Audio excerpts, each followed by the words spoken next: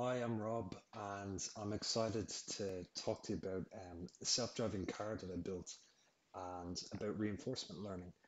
For those of you who don't know what reinforcement learning is, don't worry, I'm going to try to give you a, a crash course in, in this 10 minutes. And for those of you who do, I hope I inspire you to try build your own self-driving car using um, this AI technique.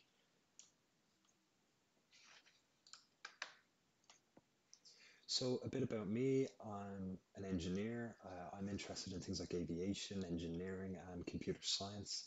Um, if you're interested, there's a bit uh, on my social links if you want to reach out. Uh, I co host the Coding Night at TOG, where we look at um, interesting projects uh, each one of us is working on. And um, uh, we're currently doing that on Discord, so uh, feel free to check that out. And um, I look forward to talking to you there. Um, so artificial intelligence is a huge category of different types of expert systems, and I was very intimidated by this. So uh, what I after a bit of uh, research, I kind of stumbled across machine learning, and even that was very broad. Uh, but it had cool things in it like uh, image and text classification. Is it a dog? Is it a cat? Um, all the way to uh, to you know um, actual face recognition. Um, and then to this uh, other section called reinforcement learning, uh, where you know your uh, software, uh, your artificial intelligence is um, maneuvering this environment that you've created, and uh, it's getting a, a reward, either negative or positive, uh, and it's trying to reduce its negative rewards and maximize its its positive rewards. Very interesting because you can build AI to you know play video games um, which I, I was highly interested in. But there are other applications like you know financial uh, trading. Uh, you and me could build a, um, a artificial intelligence trader, and the environment it lives in is uh, the stock market, and uh, you know its actions it performs buying and selling on the stock market, and you know it's trying to maximize uh, profits. In terms of robotic navigation, it could be a robotic arm trying to navigate through, uh, say, a bush to pick fruit so there are all different types of uh, applications for this, which is why I think I'm highly interested in it and why the artificial intelligence community is, is very interested in it. Um, some notables about it. Uh, this uh, technique was used to beat players at like uh, pro players at Dota 2 and uh, defeating Go champions. So that's your Google DeepMind and all that. Um, so what do you need in order to build, uh, you know, a reinforcement learning, uh, reinforcement learning um, agent? Well, there are many tools, uh, and I'll try to keep this very high level, but please feel free to um, ask any questions in the comments. Um, the main thing you should know is that uh, you need to structure your uh, problem in the form of a Markov decision making process. And all that means is that you need to make sure you have an environment that outputs some information, have an agent within that environment receiving that information, and let the agent perform actions on the environment, change the environment based on those actions, and get some uh, reward, whether it's negative or positive, and allow the agent to update its strategy for the next uh, the next iteration uh, where it will perform more actions and so on and so forth.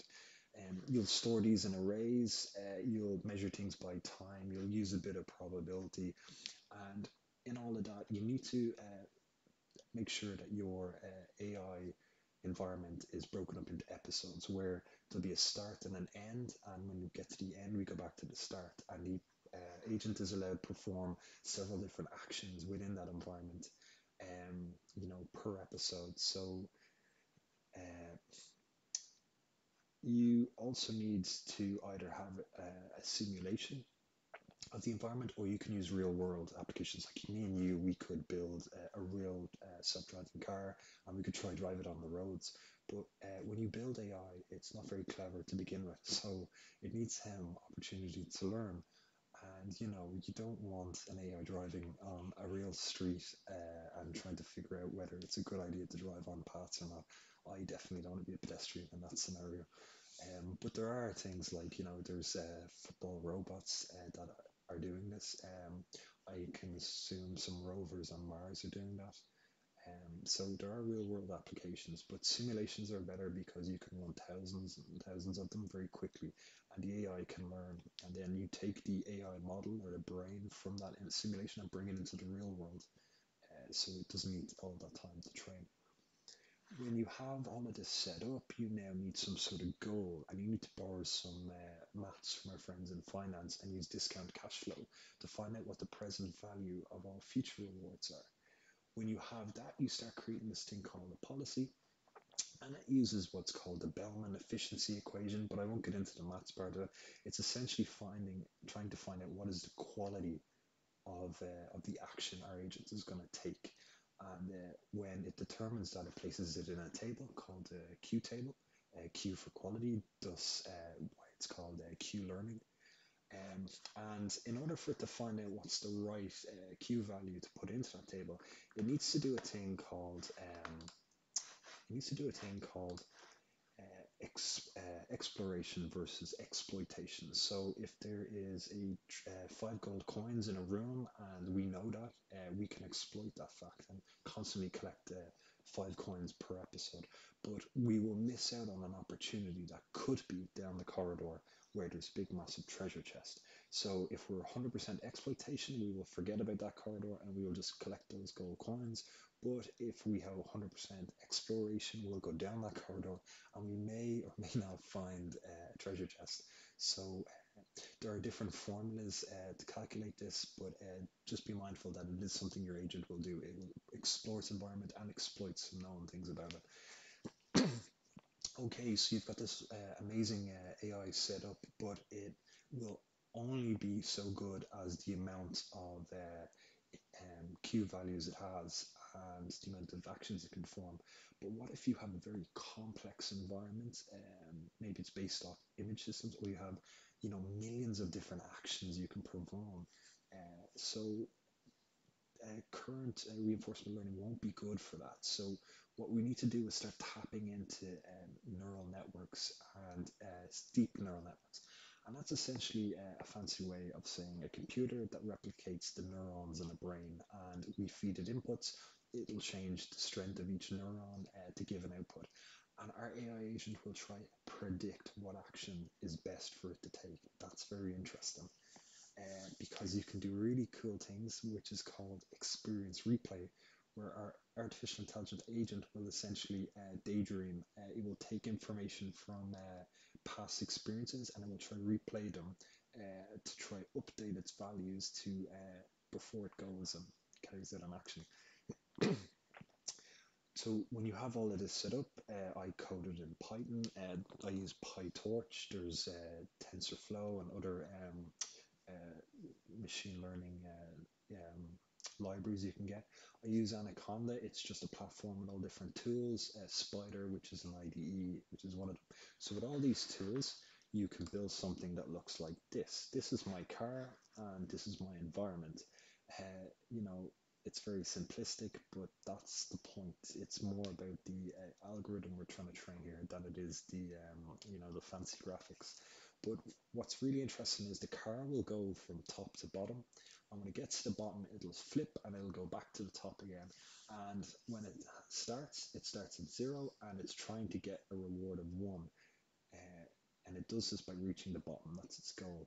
Every time it moves towards its goal, it'll get a 0.01 uh, reward, and every time it moves away, it'll get a negative, uh, 0.02. And if uh, it touches any of the edges of the road, which is symbolized by this yellow sand, it will get a negative reward. So it will try to avoid that. now, this little ants looking character here is my car. Obviously, it looks nothing like this, but uh, the sensors here on the front will read in information about the environment, uh, which is black here. It'll get a uh, zero. Uh, and if it hits the sand, it will get a minus one. And if it hits the end, it'll get a plus one. Okay, great. So let me show you this now. And there are some links down there to YouTube videos if you want to check it out. Um, this is my AI agent, my self-driving car.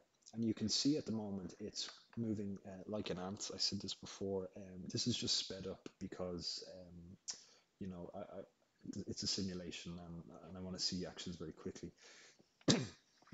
its objective is to go from the top of the screen down to the bottom in the most efficient way uh, it thinks is possible.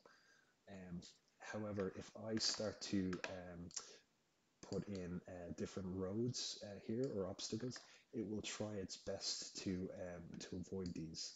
And as you can see, it now navigated around to get there. Um, sometimes it will try to take a risk and drive across the road, but what we can do is penalize it by giving it more of a negative reward. So we'll try avoid that. Um, we can do uh, other stuff um, like uh, those uh, experience replays I told you about. So we've just ever we've only ever shown it um, uh, straight lines, but if we start adding circles in here, it will uh, it will try to learn how to avoid them. As you can see, it navigated around this. Um, now, so it's playing different episodes and it's performing actions and it's getting rewards. We can actually graph that and have a look. And as you can see, when it started off, it was doing very bad. And as it started to um, to do more and more episodes or more and more attempts, it uh, started to get better until we started introducing obstacles and then it started to get bad again. But what's interesting here is that uh, we can actually um, give it different types of obstacles and it will learn to get around them. As you can see, it's doing it there. Um,